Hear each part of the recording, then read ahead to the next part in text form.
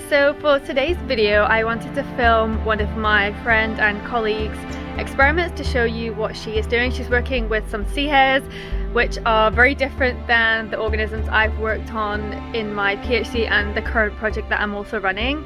I think during a PhD in particular you can get hyper focused. I mean you kind of have to hyper focus on your species that you're working with, your particular experiment. You can kind of miss some of the cool stuff that's going on around you so I wanted to do a little video to show what Jadie's doing for her experiment and to show you some really cool and super cute sea hares so let's go find her okay let's go find her here she is Hello. So here she is, here is her experiment. So what are you doing over here, Jade? So we're creating ocean acidification conditions and expose sea hares, those little kitties, to severe ocean acidification and see how they respond in terms of behavior and molecular response in their brain. Or at least the closest that they have to a brain. Closest that they have to a brain, so they don't have an actual brain? They're not centralized. Okay. The neurons are spread across the body. They're very large neurons that you can see with the bare eye, say you would dissect one. And this is why they're very interesting creatures to work with, because they're very easy. And you can look at the neuron level what is going on with future conditions. Here is the CO2. So that is how she is creating or simulating severe ocean acidification in the tank. So she'll bubble the CO2 into the water and it will become more acidified. So what exactly are you doing right now? So I'm measuring the pH um, to make sure that the bubbling is going fine and that we are actually having future conditions. So these bubblers are going at 1,200 microatmospheres of CO2, which would be what we would have in 100 years if things get bad. Things get bad. So what kind of things do you have to do on a daily basis for the general maintenance and husbandry? For general care, you have to know that these eat a lot, then poop a lot. Eat a lot, So cleaning lot. and feeding is part of something I do very regularly.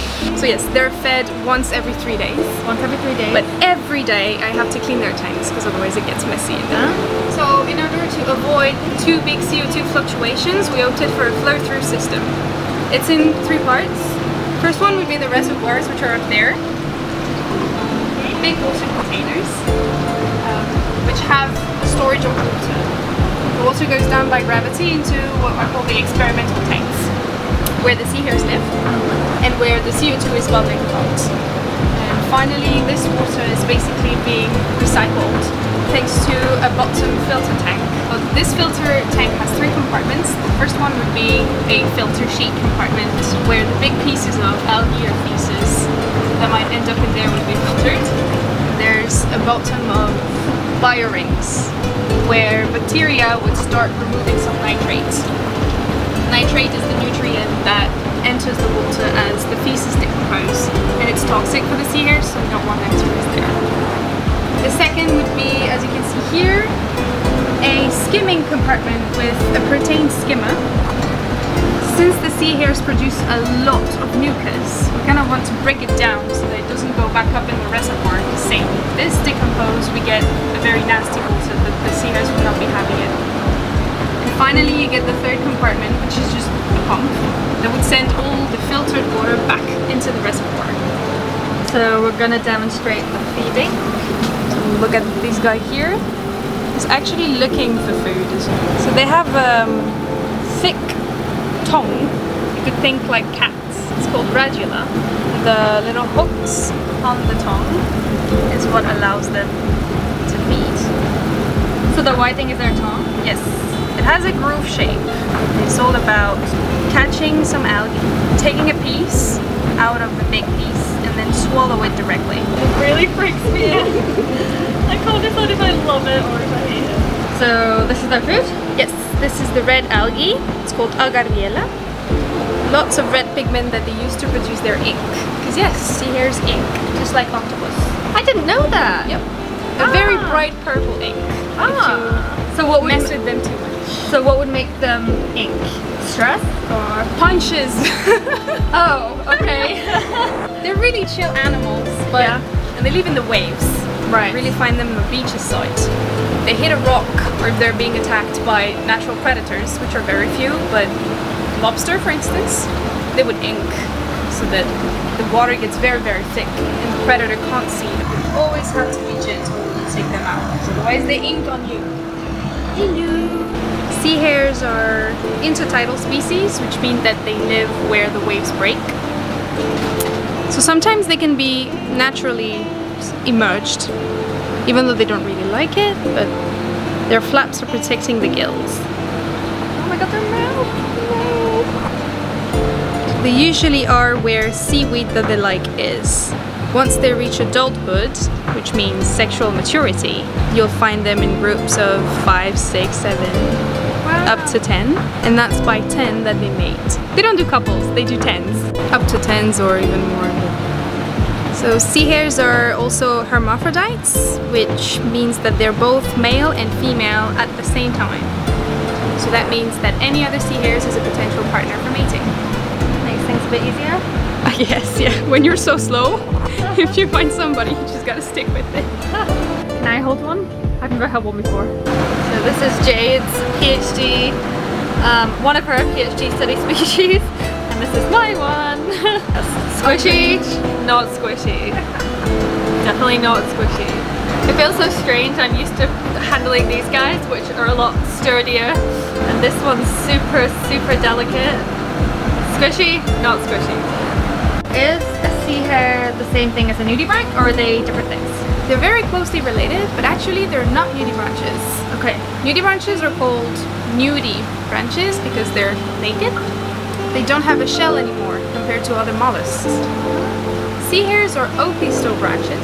They have a shell, but it's inside, it's hidden.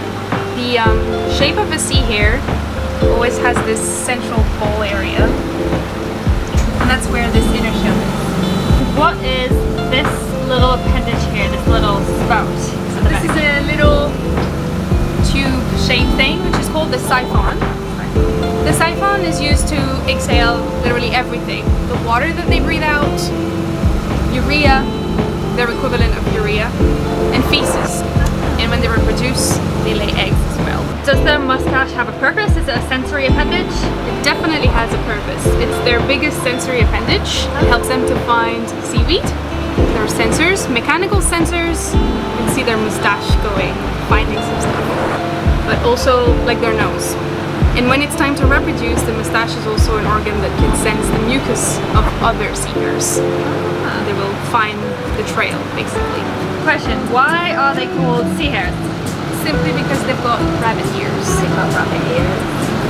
One interesting feature about those ears, so they're sensors, right? Like the mustache or other appendices. But what I find so cute is that when they sleep, they ball up. Most of the body is contracted into a ball. The head is a bit retracted. So the ears go. That's so cute. so cute. That's so cute. So after exposing them to three weeks of elevated CO2, uh, I'm first going to look at their behavior. I'm targeting a reflex behavior on the tail. Basically, if you punch them a little bit on the tail, they will retract. Okay. I'm going to. Did you say punch? Pinch. Pinch. Okay, pinch. Yeah, that sounds. Pardon my French. going to pinch them just a little bit on the tail, and the sea hares will retract in response to that. And that's a reflex response. Okay. And it's been shown that under high CO2 levels, like the ones we're creating now, this reflex is less intense and less long than sea hares which are exposed to normal day CO2. I'm going to do that experiment again, but at the same time I'm going to collect the neurons which are involved in this behavior and look at the gene expression levels that you find in those neurons. See if there's any difference between sea hares which are exposed to future CO2 conditions and control CO2 conditions. So that was a little introduction into Jay's experiment. It's really cool for me to see because she's using similar techniques. So she's exposing them to the same thing which I exposed my sea urchins, but obviously it was a very, very different experiment and different setup. So yeah, that was very cool. I am now gonna clean out my sea urchins. So thank you so much for watching. If you wanna find Jade on social media, I'll put a link to all of that below. Thanks again for watching and I'll see you next time. Bye!